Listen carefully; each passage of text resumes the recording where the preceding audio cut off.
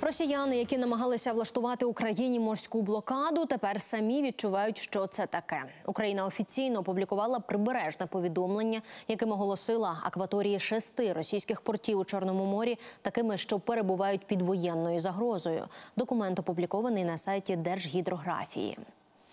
Небезпечними для судноплавства названі акваторії внутрішнього та зовнішнього рейдів, портів Анапа, Новоросійськ, Геленджик, Туапсе, Сочі та Тамань.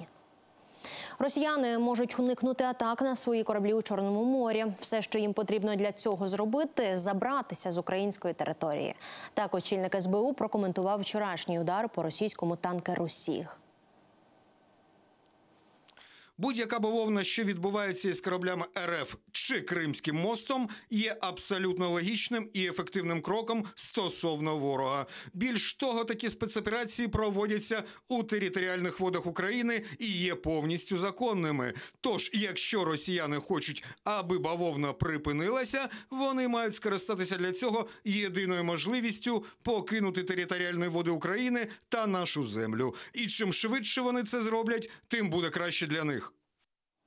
Василь Малюк не уточнив, хто саме стоїть за атакою на російський танкер, але в засобах масової інформації пишуть, що операція була проведена саме службою безпеки України спільно з військово-морськими силами. Зокрема, про це пише агентство Інтерфакс Україна, посилаючись на джерело в СБУ. У відкритих джерелах вже з'явився і відеозапис атаки на танкер. Це відео з камери самого дрону. Нагадаю, російський танкер Сіг атакували ввечері 4 серпня. Сталося це в районі Керченської протоки. Приблизно приблизно за 50 кілометрів від берега міжнародно визнаних територіальних водах України. Сіх йшов з Босфору в бік одного з російських портів. Удар прийшовся в ту частину корпуса, де розташований моторний відсік.